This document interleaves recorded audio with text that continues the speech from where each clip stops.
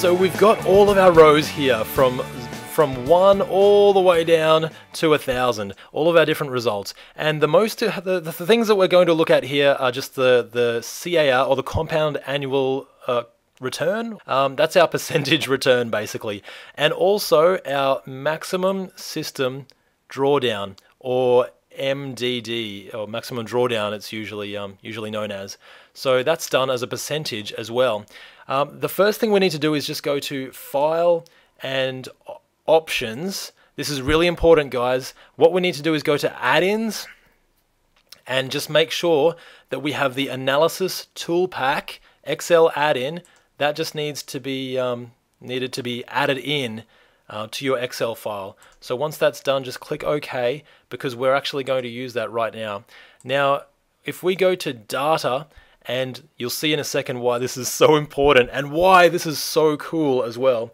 If we go histogram, histogram is what we're looking for, and the input range is just our compound annual return just from the top, so the number, number two, and if we hold shift and go all the way down to the bottom and click the bottom one, that is our entire range.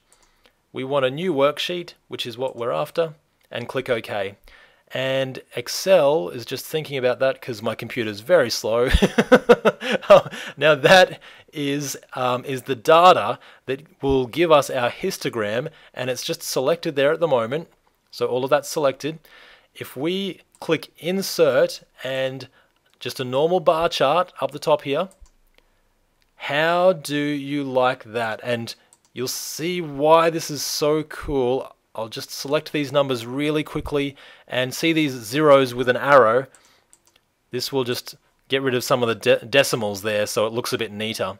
But have a look at this and I'll just see if I can enlarge this because this is so cool.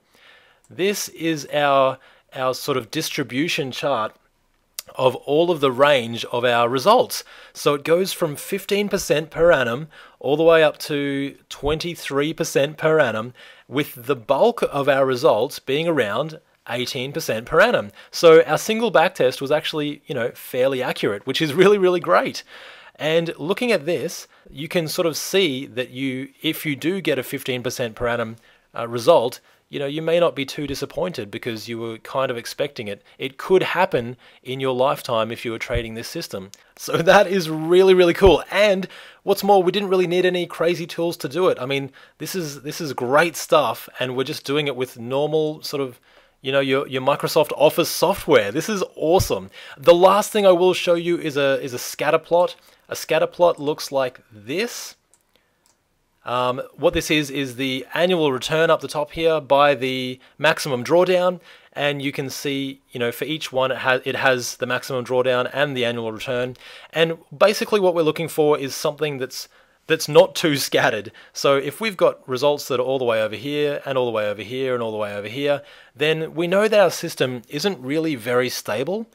So in this particular system, we're, we're, getting quite a few different results all in the same area. You know, this is typically a good sign or a sign that, you know, it's, it's doing what it's supposed to be doing and not giving us crazy results for this particular Monte Carlo test. To do a scatter plot is really, really simple. We just take our compound annual return and you can take as many as you like and just select the top one, hold shift and select the bottom one and that'll give you that range there. And then our maximum system drawdown again. If we hold control now and just select all of this while we're holding control, now we've got both of these columns selected. If we go insert and just down to the scatter plot here and scatter plot.